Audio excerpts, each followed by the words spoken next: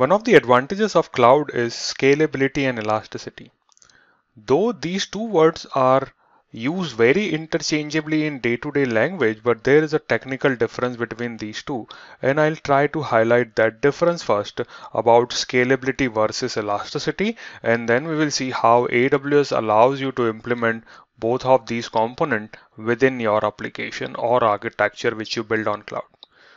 Let me give a basic example so that you could relate to the further discussion which is coming up. If I talk about AWS expanding its global footprint, what I mean by this global footprint expansion, in 2000, 2011, 2006, 2011, AWS has started with four regions. Then by 2016, seven region, 2018, 11 region, and then by 2018 to 2023, there are currently 20, 31 region which are operational. Now, this is a strategic move they are making. They are ensuring that what are the places, location, geographical areas where they have demand for cloud computing services and they kept on operating and opening up regions there. This is one example. Similarly, if I talk about another aspect of global footprint of AWS that is edge location. So in initial days, it was around 14 edge location in 2008. In 2018, 150 edge location. And now if you see in 2023, which is a very early part of 2023, 2023, there are 400 plus edge location. So this is a strategic investment which AWS is making to ensure they can deliver services near to customers and can give them the performance and availability which they need for their global scale application. That is scalability. Let me take another example here. FIFA World Cup which happened in Qatar in 2022 it used Amazon CloudFront for content distribution. When these matches were live and people were watching, 19 plus channels have used CloudFront to deliver content to their customers. And this you could check into the link which I have here. I would be putting this link. What happened in this case? It scaled up to millions of concurrent viewers to support them, delivered more than 150 petabyte of streaming media content, peaking around 23 terabyte per second across multiple places right so as you could see as this is what is the total delivery and then 249 billion unique client IP address. This is how CloudFront helped in delivering FIFA World Cup broadcast. Now, if I look at that website or those infrastructure, is this currently at the same utilization? Answer is no. When the requirement was, it has expanded elastically and then when the requirement was not there it has shrinked itself. So that is what we mean by elasticity where I am having an increase based on business demand and again shrink when I do not need that much of capacity. So this is just a formal informal way of introducing you to scalability and elasticity. I'll talk more in the formal way and go through different aspect of it and how it is implemented. I would read some definition directly from the slide because these are just one liners Scalability is the ability of system to grow or shrink in a graceful manner. That's what we are looking for. When we need that time, we would have enough capacity to keep on expanding. Also, it is basically a design of the architecture that is growth friendly, which has been designed in a way to understand future growth. Like if I talk about AWS infrastructure, whenever they want, they could, or whenever they have need, they would open up regions there and in those regions there would be availability zones. And if they need more capacity maybe they would keep on adding more resources into availability zones. Or if the demand is like this they may add up another AZ also within a region which used to happen a lot.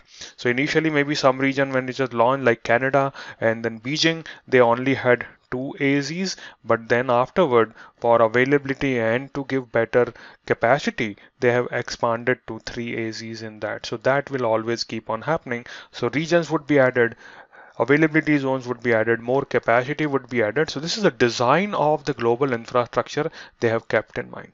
Some examples in IT context could be how efficiently a system perform and user traffic is increased on multifold How will a database respond to higher volume of queries? So same database, number of queries just exp queries expanded, how I respond to that and how operating system performs on different type of hardware.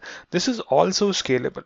So I can run an operating system maybe on 4 GB RAM and 2 CPUs and it can be run on a big machine of 128 CPU and 256 GB of RAM or something. So that is also a scalable way of expanding your infrastructure and services.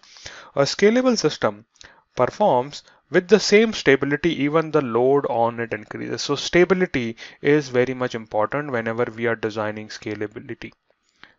If I had to put this thing into a graph a graph would look like this. In this place I am plotting scalability on y-axis keeping demand x-axis keeping time.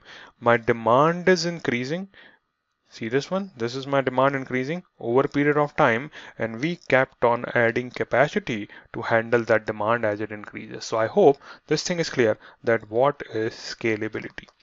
Once this is uh, clear, let's talk about elasticity now. Elasticity refers to dynamic increase or decrease of resources. This word plays very important aspect or very important consideration to be taken when we are talking about elasticity that is a dynamic nature.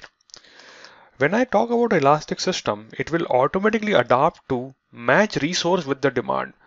Demand increases, maybe resources would be increased. Demand decreases, resources would be decreased, and this would mostly be happening into real time. When CloudFront had millions of users it delivered the content for FIFA World Cup. When there was 10 users only then also the delivery of the content was happening. So that would automatically be a elastic way of managing the thing. Some example into IT context.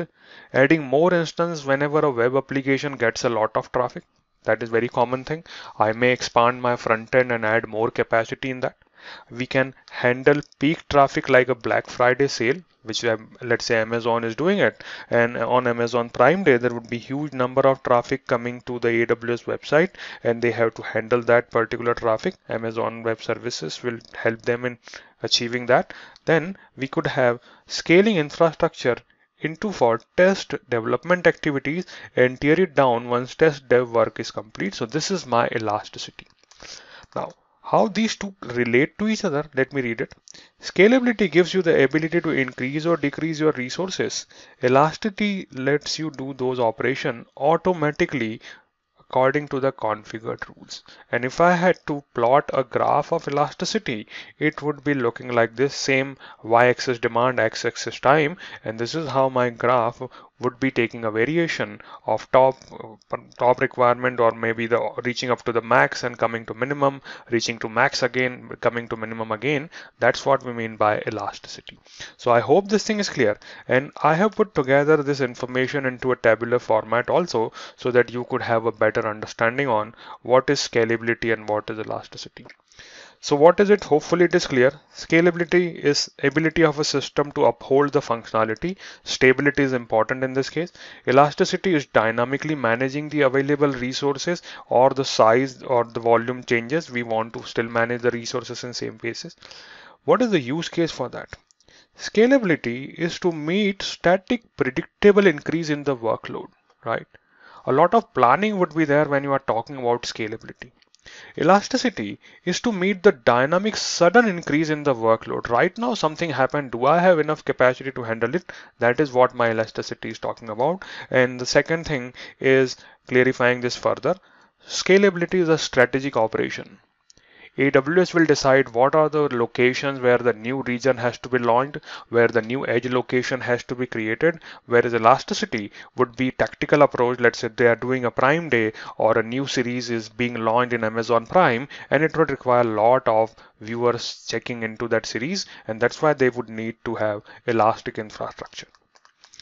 When I talk about scalability, the focus is on design and architecture. So when somebody is building or designing architecture, they would take into consideration that it is scalable and elasticity is more of an operational thing which will be acted upon on a day-to-day -day basis.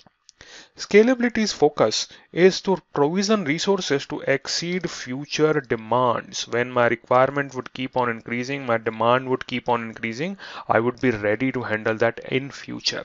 Whereas elasticity is to meet present demand, whatever is there. Could be low, could be high, we would meet that present demand.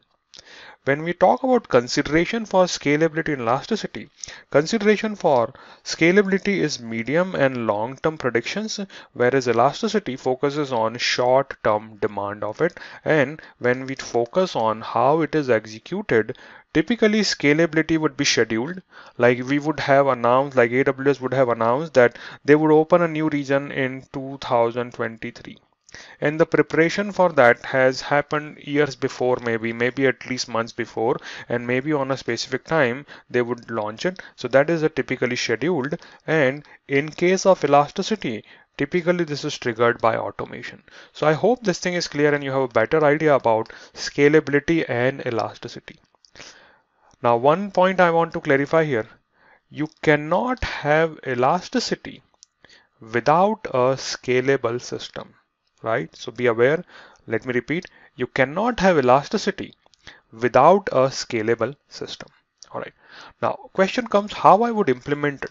So let's talk about very generic information first, and then we'll talk about AWS specific information. When I have to achieve scalability, I would be applying a scale up down approach, or it is also referred as vertical scaling. This is one way of achieving scalability. What we do in this process, we replace the resource with a bigger or we add more capacity in the same resource. Let me give an example. So maybe I initially started with a small volume of storage. This is the outer boundaries representing my storage. And when I needed capacity, I could have added more volumes or more disk in that volume. So my volume keeps on increasing.